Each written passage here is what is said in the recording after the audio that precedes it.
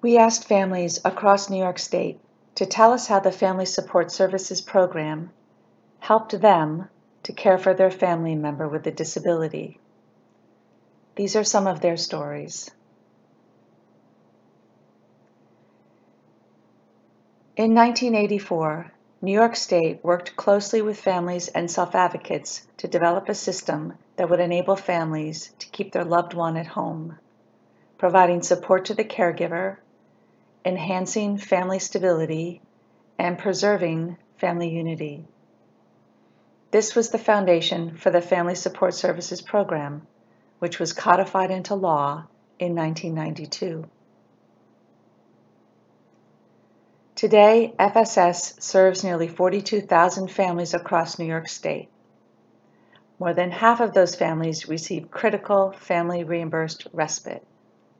FSS also provides recreation, complex systems navigation, counseling, transportation, crisis assistance, and so much more. FSS is under siege now due to the imposed government funding holdbacks. The system is close to collapse and agencies are failing. Without this critical lifeline, families will no longer be able to support their loved one with a disability at home, resulting in a greater need for expensive residential placements.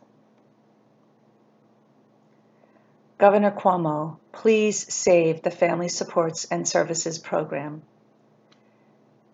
FSS saves families and saves New York State taxpayers millions of dollars.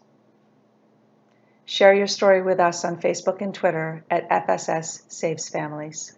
Thank you.